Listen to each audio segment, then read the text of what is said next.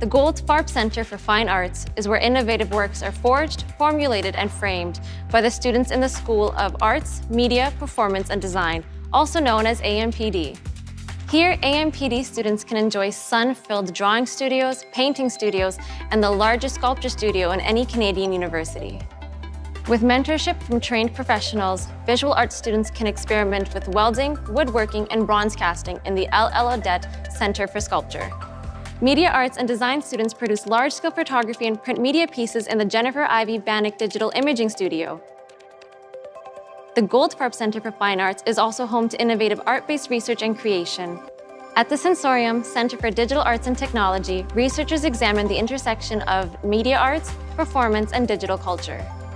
Meanwhile, digital media students and researchers study mixed reality environments in the Alice Lab for computational world making while media arts students purposely play with the Beta Space Co-working Lab's 360-degree cameras, immersive environments, motion capture suits, and more.